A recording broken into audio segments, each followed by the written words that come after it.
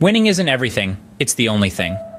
Uh, a quote that resonates in the world of sports, business, and life in general. But where did it come from, and what does it truly mean? Dive into the past, and you'll find these words attributed to Vince Lombardi, an iconic American football coach. However, the quote's origins trace back further to Red Sanders, a college football coach.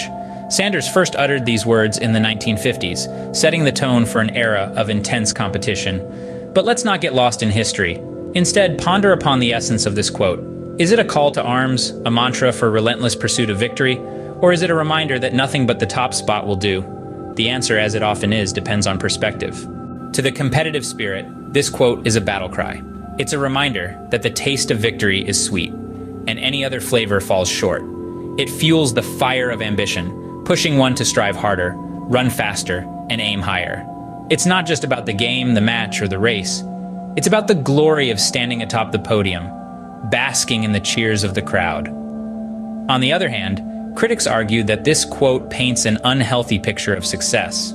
They believe it fosters a win at all costs mentality, where the joy of participation, the lessons from failure, and the value of sportsmanship take a backseat. After all, isn't there more to sports or life than just winning? The beauty of this quote lies in its duality. It can be a motivator or a warning, depending on how one chooses to interpret it. It's a testament to the human spirit's complexity, our drive for victory, and our struggle with what success means.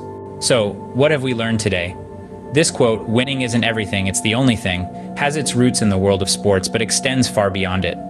It's been a beacon for the fiercely ambitious and a point of contention for those who value the journey over the destination. It challenges us to question what victory means.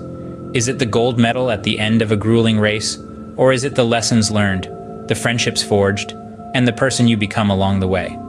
In the end, the interpretation of this quote is a personal journey. It's a mirror reflecting our values, ambitions, and beliefs about success. Whether you see it as a clarion call to victory or a cautionary tale, remember this. The power of these words lies not in their utterance, but in their interpretation.